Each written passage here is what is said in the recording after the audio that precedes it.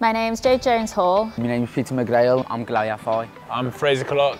My name's Callum Hall and I've competed at the 2018 Commonwealth Games in Gold Coast.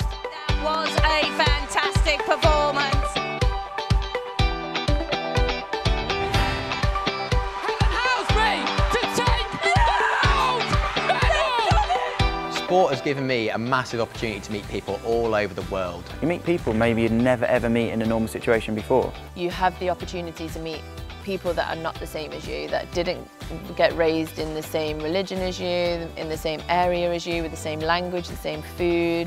Everyone is part of different cultures or different value systems and different sets of belief, but that's okay. And all of a sudden you start to think, well, hold on, that person's actually quite similar to me. But you wouldn't have met them before, but, but it, sport brings you together. Some of my best friends are from sport. Um, and it's kind of it's a great way to pull everyone together whatever age whatever ability it doesn't matter if you're all there having fun through sport that's what really matters Jade Jones is the Commonwealth Games champion for England so Peter McGrail takes Commonwealth Games gold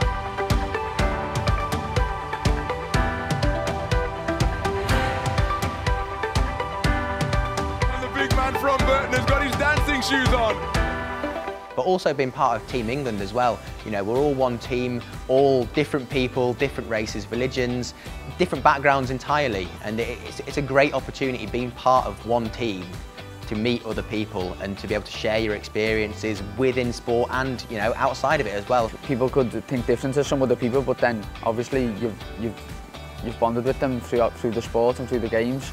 So yeah, they, they might change your opinion on a few things.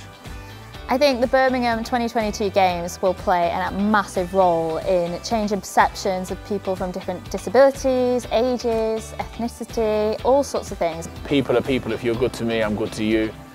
And I think the Commonwealth Games is a, was a clear, clear indicator in that. So I hope it just inspires the next generation to know that they can do it, believe in yourself, give yourself the best opportunity to access the sport and just go and give it a try. It's a great experience, opportunity and you might as well grab it whilst you can. Not only are you going to have fun, but you get to also inspire people in your school. It's going to be such a big event hosting the Commonwealth Games in Birmingham. Everyone and the world will be watching Birmingham, so make sure you inspire the next generation and you try all these different sports. At the end of the day, it's all about taking part, and if you're taking part, then you're a winner.